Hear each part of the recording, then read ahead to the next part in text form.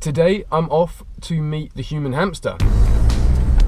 I'm just picking up my producer now. Morning, you're on camera. I'm meeting the human hamster as part of JustGiving's fundraising awards. Every year, Just Giving celebrates some fundraisers who've done some crazy fundraising. So we've arrived in Southend and we are just approaching Dean's house now. So let's go and meet this crazy guy and see his human hamster wheel.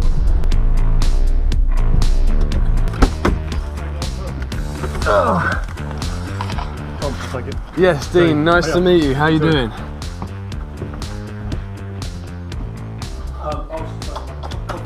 Dean. Wiry in frame and beardy in face. I instantly liked Dean. He had a great energy about him. I hadn't seen the wheel before, so I was very excited.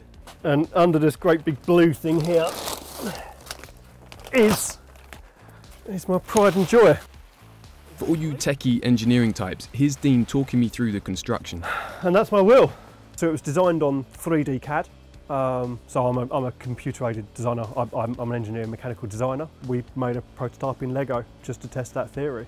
What we had done is all the wood, uh, sort of plywood uh, for the sides uh, and the runners as well, because they had to be perfectly round, we had them laser cut from plywood and I've double layered it so it's, it's got a nice wide running surface and they are all perfect. It comes apart into, into six sections or three sections is easier for transportation and it's, and it's really just a, a, wheel sat on some rollers. So there's two rollers at the, at the back and two rollers at the front and then two rollers, smaller rollers, just in the middle, which take my weight. So that's my, where my centre of gravity is. It went together pretty easily. Um, having the Lego model did actually help with thinking about how it was going to run and how it was going to come apart and the stability of it.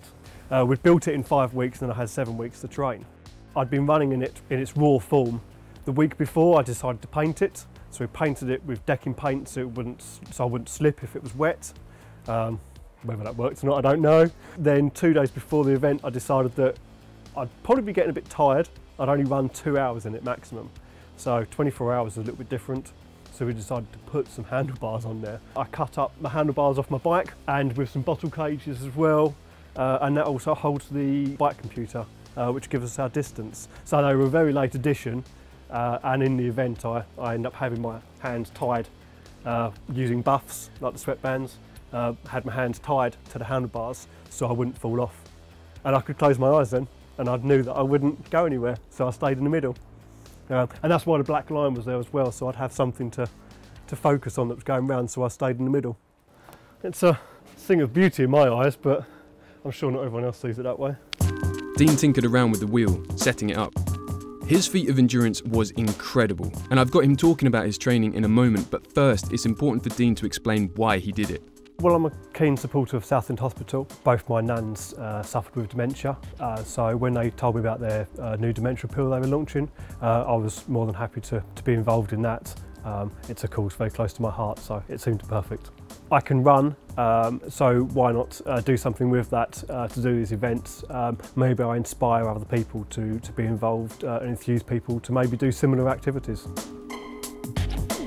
So I had to learn to run in it because you're constantly running uphill.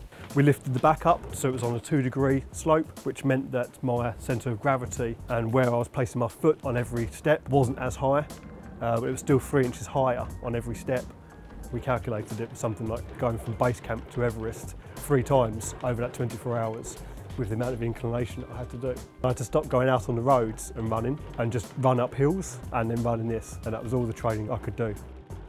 Mentally it was very, very tough.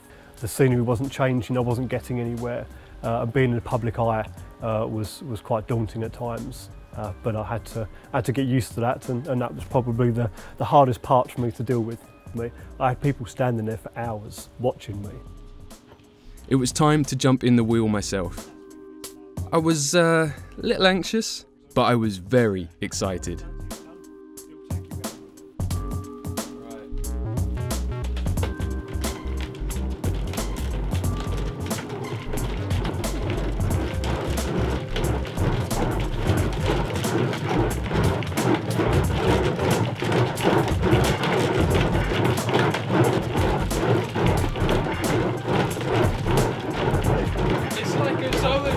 Like you can see through the gaps. Exactly. because you can see once you focus on then. It's really crazy. It actually feels really nice. Like, I was surprised. I thought it might be a uh, the actual. Um, I, I can't speak, so I'm just like I'm still uh, kind of figuring out what I make of it. But it was it's more efficient than I thought it would be. I only ran for a couple of minutes, but it was surprisingly enjoyable to run on. But I don't think I could have managed 24 straight hours. Nice! Oh, that's amazing. Oh, Dean, this is so cool. Thank you so much for letting me You're welcome. You're welcome. That's really cool.